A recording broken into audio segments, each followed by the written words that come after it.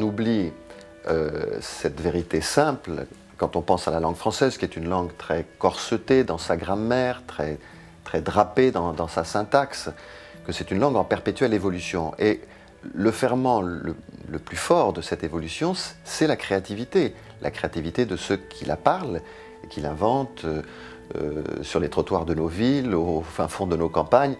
Et je ne parle pas simplement des villes ou des campagnes françaises, bien entendu, mais de l'ensemble de l'espace francophone. C'est une langue qui ne cesse de s'inventer, de s'imaginer. Il y a une invention lexicale, c'est-à-dire une invention qui touche au vocabulaire, et il y a parfois aussi une, invention morphologique ou, syntaxique. Euh, et parmi les dix mots que nous avons choisis euh, cette année, pour la semaine de la langue française, entre le, 15 et, le 23 mars, la, semaine de la langue française qui est un rendez-vous des amoureux des mots, eh bien, un, des mots est un néologisme, c'est-à-dire un, mot nouveau, un mot qui n'existait pas jusqu'ici, qui a d'ailleurs été inventé par un élève de, CM1, je crois, et qui est le mot. Sans livrer, c'est-à-dire sans livrer de livres en quelque sorte. Il y a d'abord une hypersensibilité à l'égard de, mots venus d'ailleurs, et pour ne pas la nommer, de l'anglo-américain. Parce qu'il est vrai qu'un très grand nombre de mots d'origine anglo-américaine se sont introduits ou continuent à s'introduire dans la langue française. Faut-il ou non s'en émouvoir On peut en débattre. Après tout, au XVIIe siècle, euh, vous avez eu au XVIe siècle et au XVIIe siècle un très grand nombre de mots italiens qui sont rentrés dans la langue et qui en sont ressortis quelques années plus tard. Rien ne vous dit que ça ne se passera pas de la même manière pour, pour l'anglais. Non, je ne crois pas qu'on s'émeuve de, de, l'inventivité, de la créativité, de cette espèce de, bouillonnement euh, lexical euh, du, français.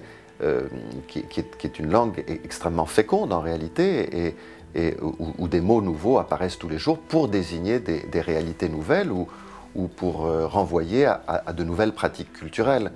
Euh, je crois que ce n'est pas ça qui est en cause dans le purisme. Ce qui est en cause dans une attitude puriste, c'est peut-être ce qui peut apparaître comme un, un langage non châtié ou l'utilisation de mots vulgaires ou une expression dite relâchée, mais ce n'est pas l'inventivité de la langue qui est en cause. La délégation dispose d'un observatoire des pratiques linguistiques, c'est l'une de nos missions que d'observer les évolutions du, français contemporain, et, d'ailleurs pas seulement du français contemporain, puisque nous avons aussi une mission d'observation des langues parlées dans notre pays, des langues régionales, des langues non territoriales. Et c'est bien le français qui reste au cœur de nos préoccupations. Et alors ce, ce que l'on peut observer, c'est justement euh, ce que certains interprètent comme un bombardement de mots venus d'ailleurs. Ces mots venus d'ailleurs, ils désignent des découvertes scientifiques, des innovations technologiques, de nouvelles pratiques culturelles.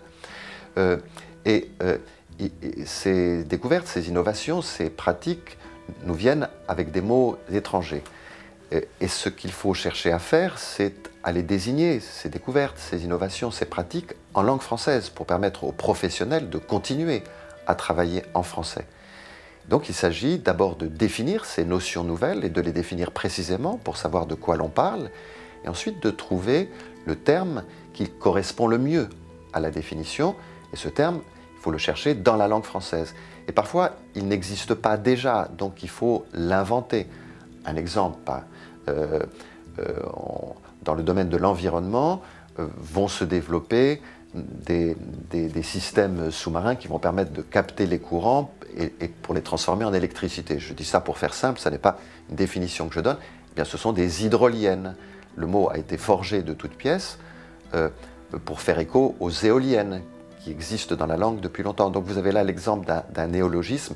Je pourrais en donner euh, évidemment bien d'autres exemples. On a lancé sur les réseaux sociaux, sur Facebook pour ne pas le citer, un concours qui invite ses participants à inventer euh, le mot de la semaine, à inventer un mot nouveau. Nous espérons que l'imagination des internautes se donnera libre cours.